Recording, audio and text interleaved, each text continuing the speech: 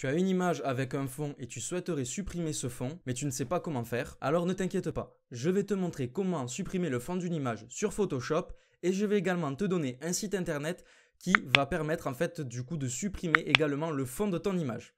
Donc ce qu'on va faire c'est qu'on va aller directement chercher une image du coup sur une banque d'images libres comme je vous ai montré dans une vidéo précédente. Alors on va prendre, admettons, qu'est-ce qu'on aurait besoin? Voilà, on va essayer du coup de récupérer. Peut-être pas celle-là. Allez, celle-là. Voici cette image. On va essayer en fait d'enlever tout le fond du coup de cette personne. Donc ce qu'on fait, c'est bien évidemment qu'on enregistre l'image. Hop, je l'enregistre sur le bureau. Et je vais me rendre sur Photoshop. On va ouvrir l'image du coup sur Photoshop. Et la voici. Parfait. Donc ce qu'on va faire, c'est tout simple. C'est qu'en fait ici, vous avez du coup tous les outils de Photoshop.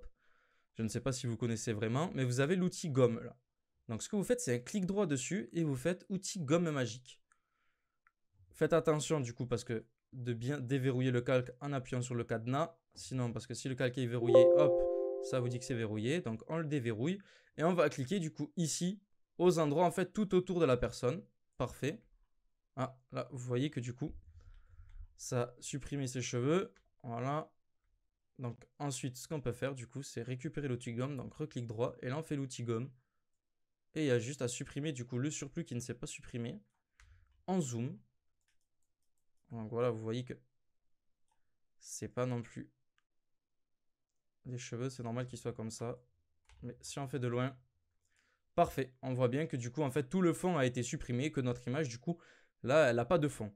Euh, comment faire pour l'enregistrer? Ben, C'est très simple. Ce qu'on fait, en fait, c'est qu'on fait fichier, enregistrer sous. Et on l'enregistre en PNG. Donc vous cliquez ici, vous l'enregistrez en PNG. Et là, vous mettez le nom que vous voulez. Voilà.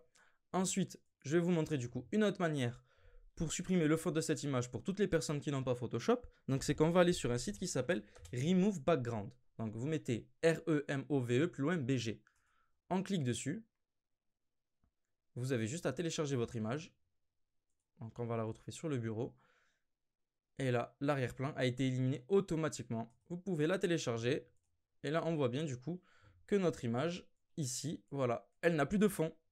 Merci à toi d'avoir regardé cette vidéo, j'espère qu'elle t'a plu et qu'elle t'a permis du coup de supprimer le fond de ton image. Dis-moi en commentaire si tu as préféré le faire sur Photoshop ou grâce du coup à Remove Background. Si tu as un problème, n'hésite pas à le poster en commentaire, je reviendrai vers toi pour y répondre et trouver solution à ton problème.